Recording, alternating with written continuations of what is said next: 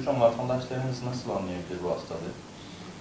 Ee, yani anla, tıkalı olan yerde mesela kalp krizlerinde biliyorsunuz diyelim ki kalp damarı tıkandı.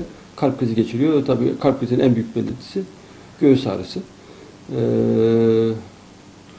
kalp krizinin ağrısı yani dünyadaki en kötü ağrılardan bir tanesidir. Yani normal hani e, böyle bıçak saplanır gibi, iğne batar gibi falan ağrı değildir kalp ağrısı. Kalbin e, daha çok böyle boğulma korkusu, ölüm korkusu e, ve kült bir ağrıdır. Bütün göğüs kaplar, çeneye, kollara, sırta doğru yayılır. E, üstüne birisinin birisinin üstüne fil oturuyormuş gibi hisseder. Boğulduğunu hisseder. Ölümü hisseder. Sol kolumuza bir ağrı falan Yani sol kola ağrı yani sol kola doğru yansır. Aslında yansıma ağrısıdır kol ağrısı.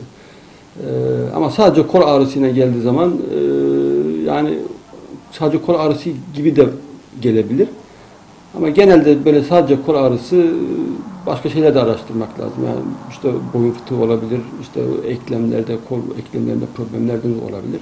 Romatizmal hastalıklar da olabilir. Ama göğüs ağrısı biraz daha kötü bir ağrıdır. Yani o insanlar onu geçmez ağrı. Kalp krizi bitene kadar ya da biz eğer bir müdahale edene kadar o ağrı geçmez. İşte dilatı da alsan, ilaç da versen, ağrı kesici de alsan o ağrı geçmez. Ee, ve kalp krizi ağrılarında sadece ağrı dışında başka şeyler de olur. Soğuk terlemeler, e, tansiyon düşmesi, e, belki bazen tansiyon yükselmesi strese bağlı olarak işte çarpıntı hisseder hastalar, nefes darlığı hisseder, bulantı kusma olur. En çok etkileyen faktörler nelerdir? Şimdi damar tıkanıklıkları dediğimiz bu atar damarı tıkanıklıklarının esas sebebi aterosklerozdur. Yani damar sertliğidir mekanizması. Mekanizması işin doğrusu hala çok daha net bilinmiyor. Yani bir takım olaylar var. Bu çocukluktan itibaren bu atar damarlarda e, bu endotel tabakası var. Kalbin bütün damarların iç yüzeyini kaplayan. Onun altında işte kolesterol ve e, bir takım hücreler birikmeye başlıyor. Ta çocukluktan itibaren başlıyor bu birikintiler. Burada e, risk faktörleri var. Birincisi genetik faktörler.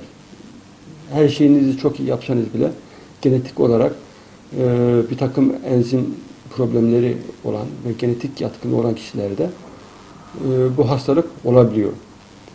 E, yıllar içerisinde bu e, damarların içindeki o plaklar e, büyüyor, büyüyor, büyüyor bir şekilde e, ya damarı tamamen tıkıyor büyüyerek ya da çatlıyor çatladığı zaman da ne oluyor? İşte orası bizim bütün pıhtı hücreleri giderek orayı trombosit dediğimiz pıhtı hücreleri gidiyor orayı tıkıyor ve o anda aniden ani tıkanıklıklar ve kalp krizi oluyor.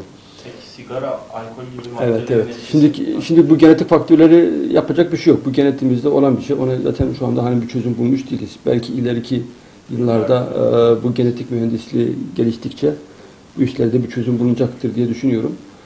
Ama şu anda şu anda şu haliyle e, öyle bir çözümümüz yok. E, tabii bunun dışında diğer risk faktörleri önemli e, risk faktörleri var. Bunların en başında geleni e, sigara, yani tütün kullanımı.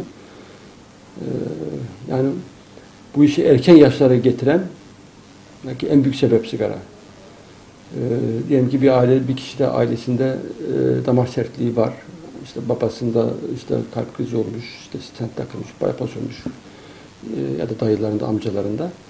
Bu kişi e, bir şekilde belki 60-70 yaşına geldiği zaman damar tıkanıklı bir kalp krizi belki yaşayacak. Ama bu kişi eğer sigara içiyor ise bu 30'lu 40'lı yaşlara düşüyor.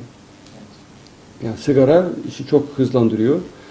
Sigara e, iki türlü problem yaratıyor. Birincisi e, bu damarlara endotel tabakası dediğimiz damarın iç yüzeyini kaplayan tabakaya direkt zarar veriyor ve e, bu damar sertliğinin aterosklerozun hızlı ilerlemesine sebep oluyor. Birincisi bu. İkincisi de diyelim ki o plak çatladı, oraya pıhtı elemanları gidiyor diyoruz ya, bu sigara bunu, e, artırıyor. İlave olarak hem kalp krizini riskini artırıyor hem damar tıkanıklığının hızını artırıyor. Yani sigara içen ile içmeyen arasında 5 katı fark var o pıhtının oluşması e, miktarı ile ilgili.